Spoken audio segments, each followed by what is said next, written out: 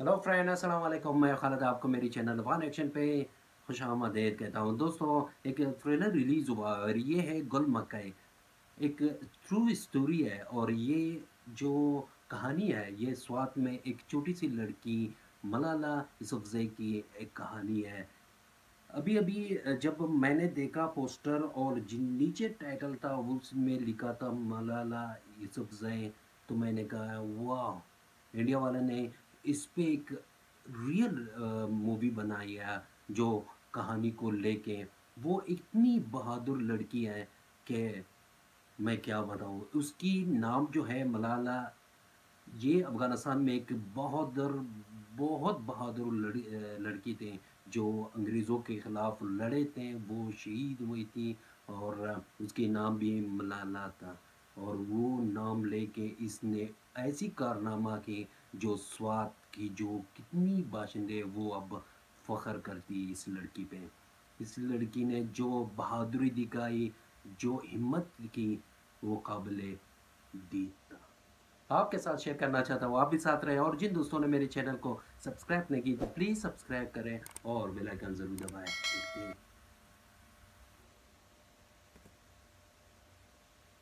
یونیسیار ہمارے پشتو قبیلے میں لڑکیوں کے پیدا ہونے پر کبھی کوئی جشن نہیں منایا جاتا۔ اور وہیں میرے دنیا میں آتے ہی مجھے میرے اپنوں سے بہت سارا پیار ملا۔ ہیلن کیلر کی خبر ہے آپ کو؟ جو انسان کچھ دیکھ نہیں سکتا بھول نہیں سکتا سن نہیں سکتا وہ اتنا سکسیسفل کیسے ہو سکتا ہے؟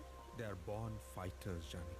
افغانستان کی بہادر ملالائی کے نام سے دادا جی نے میرا نام ملالا رکھ دیا۔ مجھے تو معلوم ہی نہیں تھا کہ میبن کی جنگ میں شہید ملالائی کی طرح مجھے بھی حق کی لڑائی لڑنی پڑے گی۔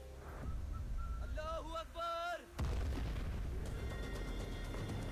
آج کے بعد سچے مسلمان ہونے کا ثبوت۔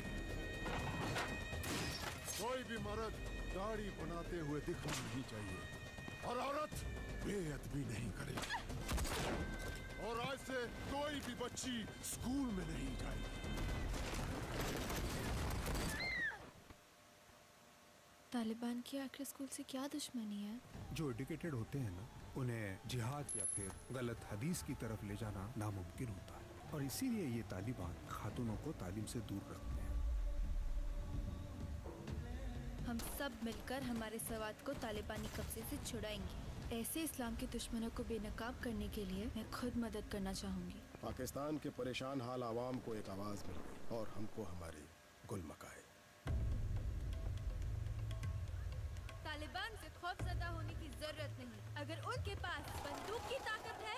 تو ہمارے پاس پین کی طاقت ہے۔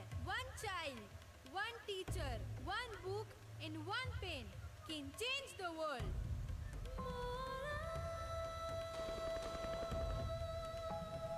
Zia Yousafzai اور ان کی دختر۔ اسلام کی توہین کرنا بند کر دیں۔ ایسے لوگوں کو بیچ چوراہے میں ہلاک ہم اپنے بچوں کی زندگی جوخم میں نہیں ڈالنا چاہتے۔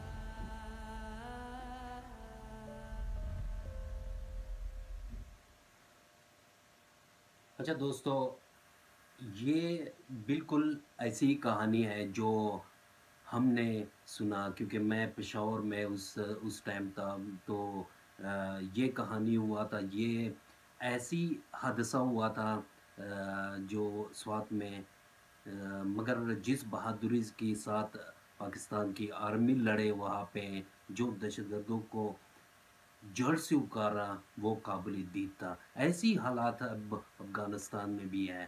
جب آپ لوگ ایسی صوبوں میں جاتے ہیں، وہاں لڑکیاں اسکول نہیں جاتے ہیں کیونکہ اسکول بند ہیں، کیونکہ لڑکیوں کو اجازت نہیں پڑھائی کرنے کے لیے۔ افغانستان میں بہت زیادہ اسکولز ابھی بند ہیں۔ اگر بند نہ ہو تو اسے جلا دیتا، جلا دیتی ہے کہ یہ یہ جائز نہیں ہے۔ خیر مجھے پالیٹکس سے کوئی لینا دینا نہیں ہے۔ اگر لوگ کہتے ہیں کہ یہ چیز جو ملالہ نے کی، یہ صحیح ہے، تو افغانستان کی لوگ بھی یہی چاہتے ہیں، پڑھانا چاہتی ہیں، چاہے وہ مرد ہو، چاہے وہ عورت ہو۔ اس کو حق ہے، اسلام نے حق دی ہے کہ آپ پڑھ سکتے ہو۔ ان لوگوں کی کوئی وہ نہیں ہے۔ ہمت نے دکھائی اس ملالہ نے۔ سب کو سب کی منہ میں تماچا مارے اس نے جو کہتے تھے یہ چیز جائز نہیں ہے، ان لوگوں کو کوئی پتہ نہیں ہے۔ سب کچھ ریئل کہانی ہے اور جس طرح مووی بنی ہے، یہ بالکل اسی طرح ہے۔ اس کی ایک اسکول کی وین میں آ رہی تھی اور کچھ لوگوں نے اس کو روکا اور پوچھا کہ کون، ملانا کون ہے؟ تو ایک اس کی ایک فرینڈ تھی اس کے ساتھ۔